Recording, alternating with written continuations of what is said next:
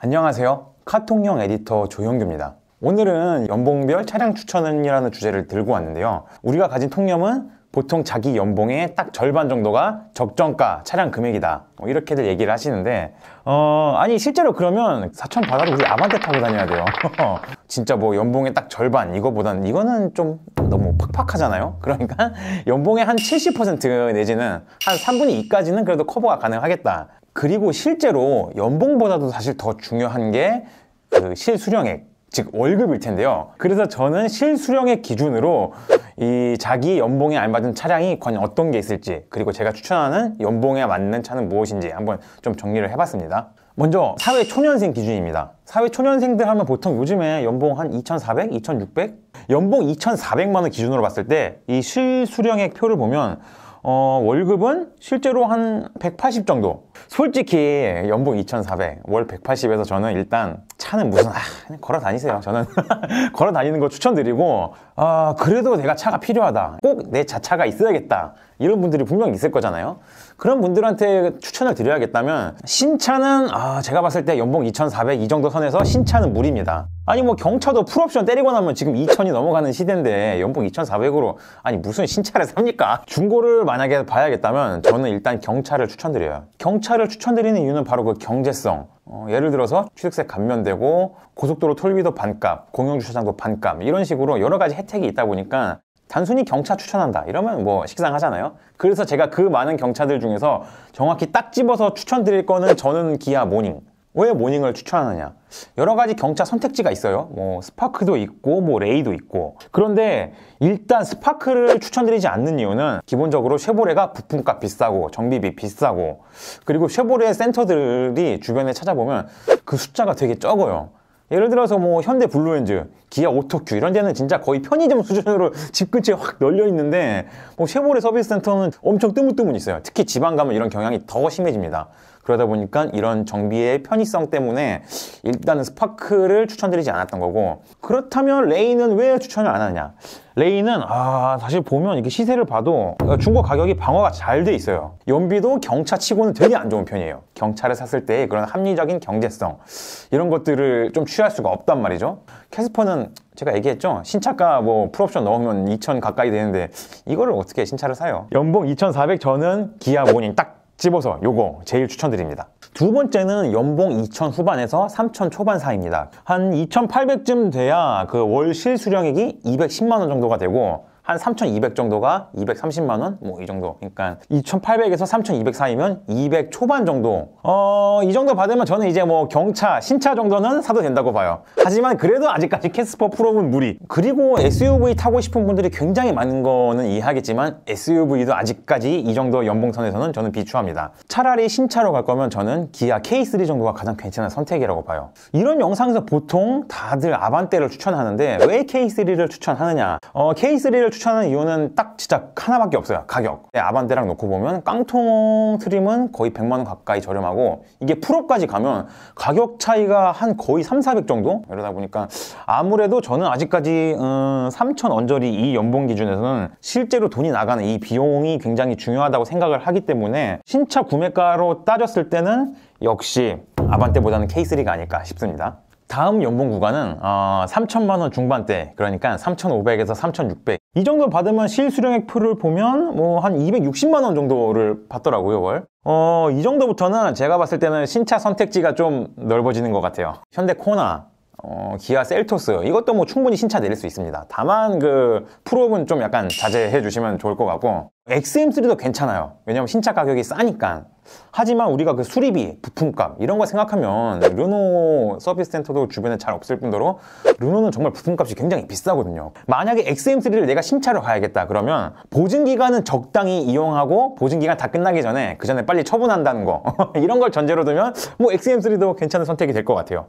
그리고 이것보다는 조금 더 큰 준중형이나 중형 SUV를 사고 싶다 이러면 뭐 중고 SUV도 가능하죠. 투싼, 뭐 스포티지 그리고 조금 키로수가 있지만 뭐 3세대 소렌토 이런 것도 가능은 합니다. 다만 현재 중고차 시세가 가장 상한가를 치고 있는 영역이 바로 이 준중형에서 중형 SUV거든요. 가성비를 생각하면 오히려 이쪽 애들은 비추가 아닐까 싶고요.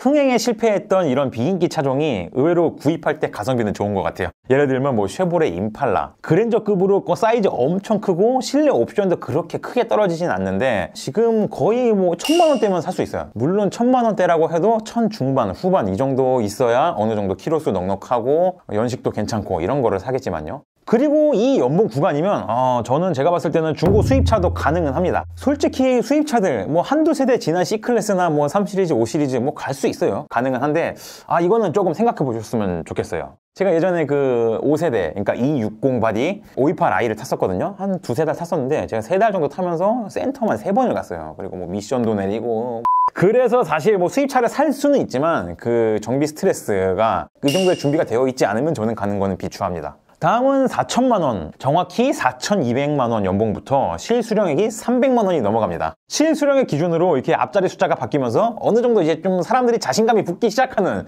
이 영역이에요. 하지만 현실을 직시해야 되고 저는 제가 봤을 때는 그래도 아직까지는 겸손해야 된다. 조심해. 이 바닥 겸손해야 된다. 그렇게 사시오 평생 이제 이 정도 연봉 되면 아 뭐 K5, 소나타, SM6 같은 뭐 이런 중형차 정도는 뭐 신차 내려도 됩니다. 한 중간 트림 정도만 가도 굉장히 뭐 필요한 옵션 같은 거 다 붙어 있고 하다 보니까 오로지 그냥 여기서부터는 디자인으로 그냥 마음에 드는 거 취향껏 골라 사시면 될 것 같아요. 하지만 아직까지 중형 SUV 풀옵션 차량은 조금 무리가 아닌가 싶은데 왜냐면 요즘 차 가격이 너무 올랐어요. 진짜 말도 안 되게 그 소렌토, 싼타페 같은 거 지금 보니까 풀옵 때리면 거의 뭐 4천 중반까지 가는데 지금 저희가 연봉 기준이 4,200이잖아요. 그 소렌토, 싼타페 풀옵으로 가면 내 연봉보다 더 비싼 차가 돼요, 이거. 그래도 중형 SUV 신차를 너무 사고 싶다. 그렇다면 아, 가성비 좋은 토레스를 추천합니다. 풀옵션 해도 3천 초반 정도 언저리로 끊을 수가 있으니까 진짜 토레스가 확실히 가성비 차량이긴 하죠. 단점은 쌍용 사실 이 연봉 구간이 되게 좀 애매할 수가 있어요. 선택지가 넓어지긴 하는데 그래도 아직까지 수입차 신차는 저는 비추합니다. 신차 가격이 대부분 이 연봉 이상에 있고 어, 적당한 중고를 찾아봐도 보증 기간이 이미 지난 차들이 많아요. 유지비와 정비비가 그 굉장히 만만치 않게 깨질 것 같습니다. 수입차 타보고 싶다 중고로. 그렇다면 저는 유지비가 가장 적게 드는 중고 수입차를 뭐가 있을까 골라봤는데 어 저는 렉서스 괜찮은 것 같아요. 그 IS 250 같은 거 특히 수입차 6기통 입문용으로는 굉장히 좋은 차예요. 진짜 웬만하면 고장 안 나고 고질병 같은 것도 딱히 없고. 다음은 연봉 5천 이상입니다.